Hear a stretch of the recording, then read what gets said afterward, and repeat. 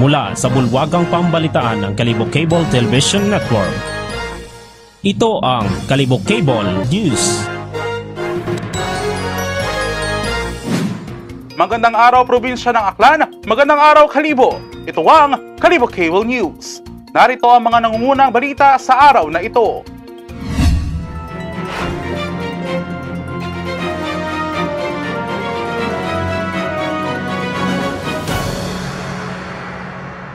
Probinsya ng Aklan nasa high-risk classification ayon sa DOH Western Visayas.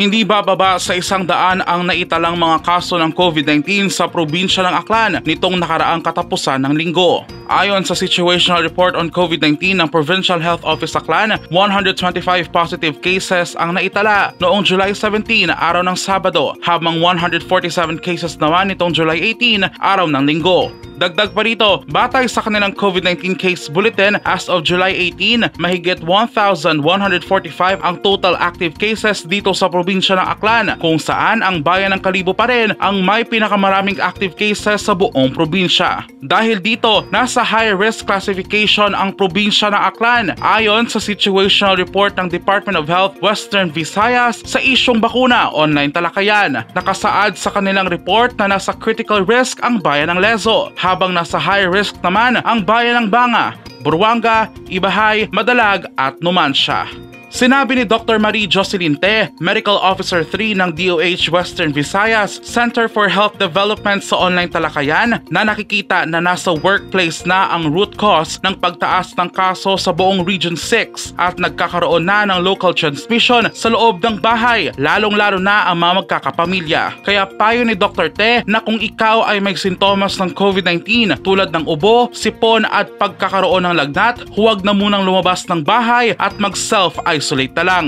Paalala naman ni Dr. Tess sa mga LGUs at sa mga gobyerno probinsyal ng Western Visayas na kung may dumating na ng mga bakuna, paigtingin at pabilisin ang vaccination rollout lalong-lalo na para sa mga A3 at A4 priority groups sa mga lugar kung saan maraming kaso ng COVID-19 ang naitala.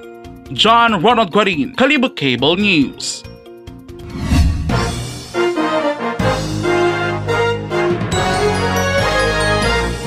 Resolution na pag-require ng antigen test sa mga papasok sa isla ng Boracay, hihintayin pa kung aaprubahan pa ng IATF. Alamin sa report ni Era Joy Briones.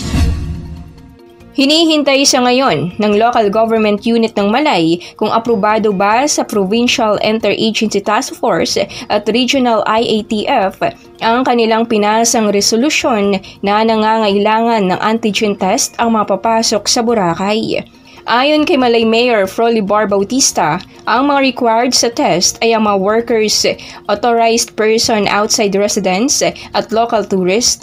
Matatandaan na base sa anunsyo ng National IATF, ang probinsya ng Aklan ay mananatiling nasa GCQ with heightened restrictions hanggang July 22. Era J. Briones, Kalibo Cable News.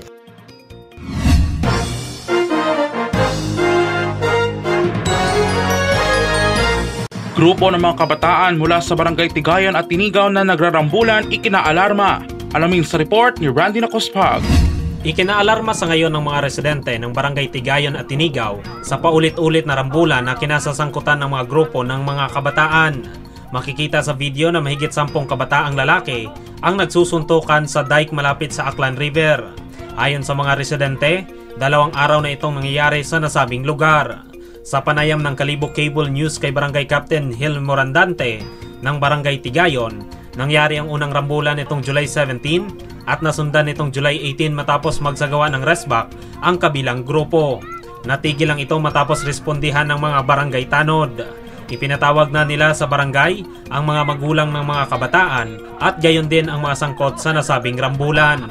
Magtatalaga naman ng barangay pulis at barangay tanod tuwing hapon sa nasabing lugar para hindi na maulit ang pagrambulan ng mga kabataan. Randy Nakospag, Kalibo Cable News.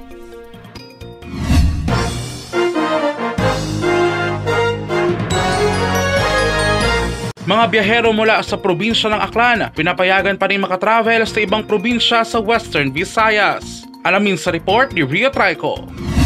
Hindi ititigil ang mga biyahe sa Isla ng Panay sa kabila ng pagsasailalim sa Iloilo Province at Iloilo City sa Enhanced Community Quarantine hanggang sa katapusan ng buwan ng Hulyo.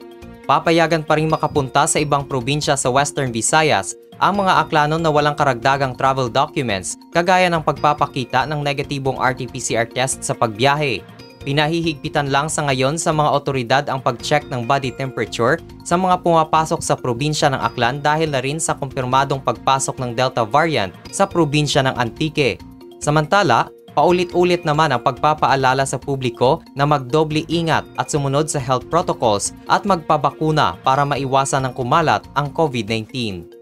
Rio Trico, Kalibo Cable News.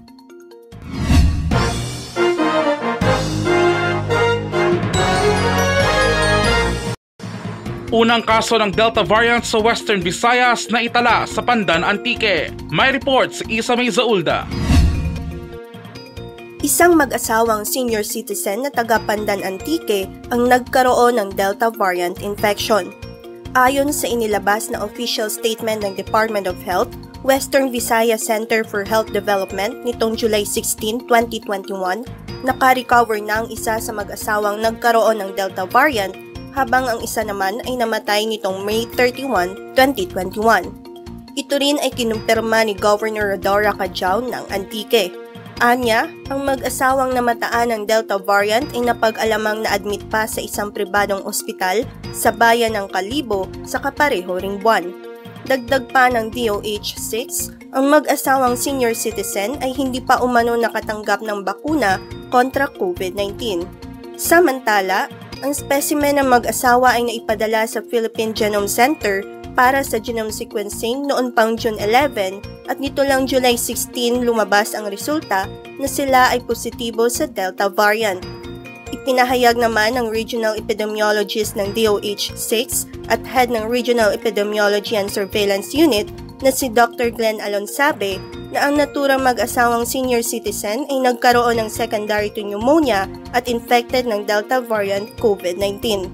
Sa ngayon, patuloy naman na pinaalalahanan ng DOH gayon din sa Antique Governor Rodora Cajao ang publiko na mariing sundin ang mga health protocols para sa kaligtasan ng lahat laban sa nakakamatay na virus. Isa May Zaulda, Kalibo Cable News.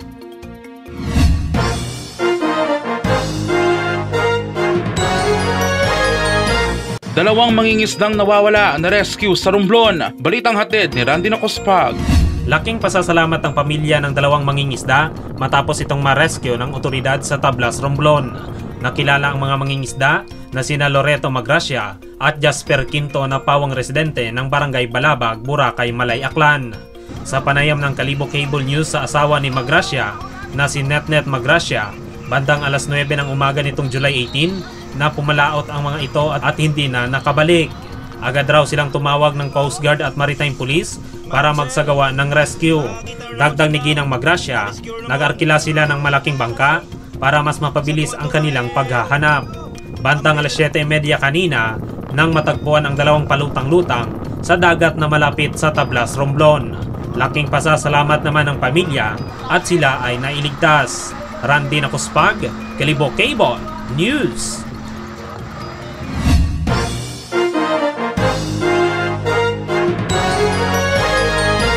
Lungsod ng Iloilo makakatanggap ng 30,000 doses ng Johnson Johnson vaccines. May report si Rio Trico.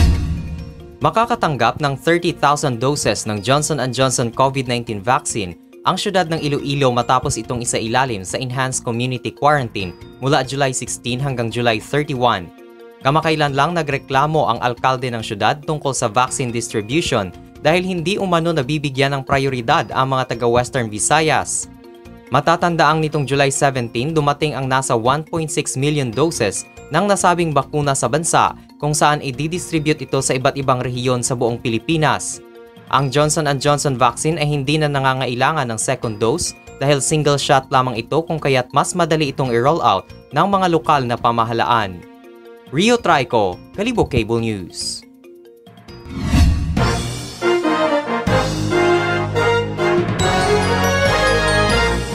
Tatlong gobernador sa Western Visayas suportado ang pagtakbo ni Pangulong Duterte sa pagka-vice-presidente sa 2022 elections. May report si Randy Nakuspag.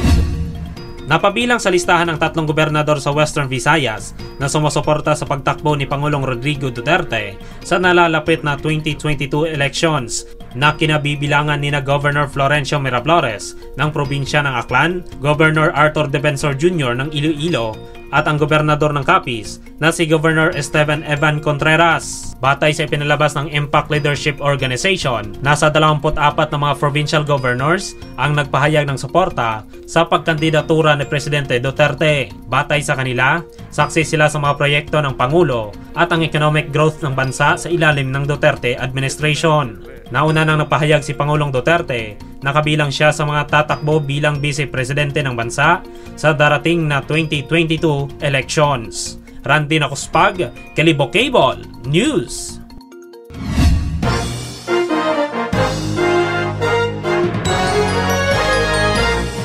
Paglabas ng mga batang may edad 5 at pataas, pag-aaralan kung papayagan uli. May report si Era Joy Briones.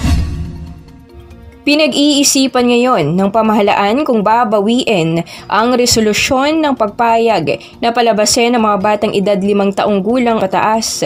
Ito ay para sa mga lugar na nasa ilalim ng General at Modified General Community Quarantine sa gitna ng banta ng Delta variant ng COVID-19. Sinabi ni Health Undersecretary Maria Rosario Vergere na kailangang ikonsidera ang presensya na mas nakakahawa at mas mabagsek na Delta variant na siyang nagtuturo sa pagbagsak sa healthcare system sa India at pagsirit ng ilang parte ng Southeast Asia. Ayon kay Vergere, kailangan munang gumawa ng monitoring at assessment ng DOH sa mga restriksyon bago magbigay ng rekomendasyon sa Interagency Task Force. Kung maaalala, pinayagan na ng IATF na lumabas sa mga kabataang 5 years old pataas sa mga open air spaces pero dahil sa Delta variant ay titimbangan pa nila kung ano ang dapat na gawin. Era J. Brianes, Kalibo Cable News.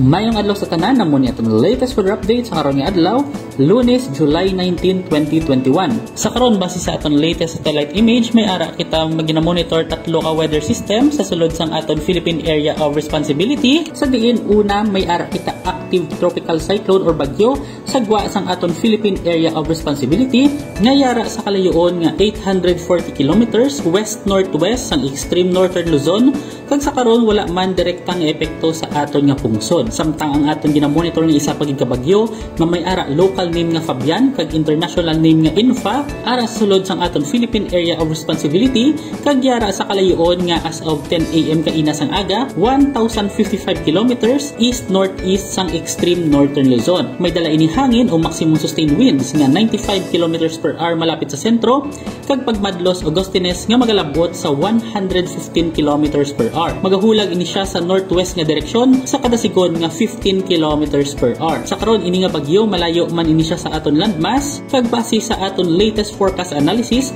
madubo ang tsansa nga maglandfall ini siya sa aton kalupaan. Sa karon wala ini siya direktang nga epekto sa anuman nga bahin sang aton nga pungsod. Para sa aton forecast track kag intensity outlook kining si bagyong Fabian gina-forecast naton nga magahulag generally pa west northwest sa subong adlaw tubtob sa buwas nga gabi. Kung sa diin posible ini siya magwa sa aton Philippine Area of Responsibility by buwas sa gabi or Wednesday sang kaagahon. Gina-forecast naton nga ining si bagyong Fabian mag-intensify pagid kag posible ini siya magalabot sa typhoon category sa Miyerkules. Sa karon wala man kita may issue na tropical cyclone wind signal sa anuman nga bahin sang aton nga pungsod pero padayon lang gyapon ta mag-monitor sa mga latest developments kag changes sang ining bagyo. Ang southwest na monsoon naman o ang hangin habagat among magapekto sa aton nga pungsod.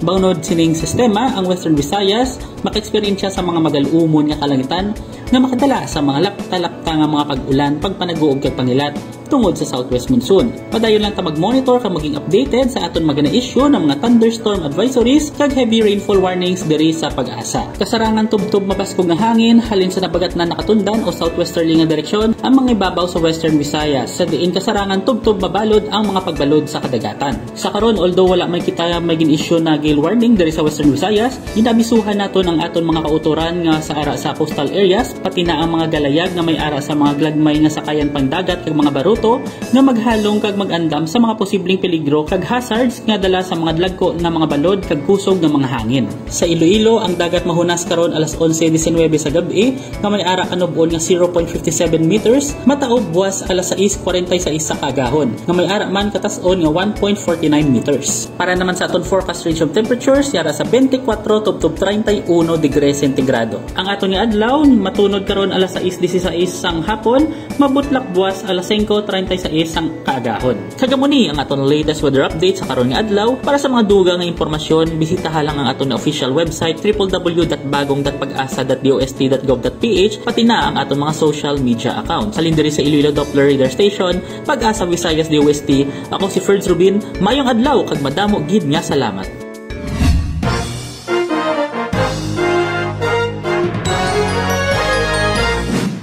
At iyan ang mga nakalap na balita ngayong araw. Ako po si John Ronald Guarin at ito ang Kalibo Cable News. Magandang araw!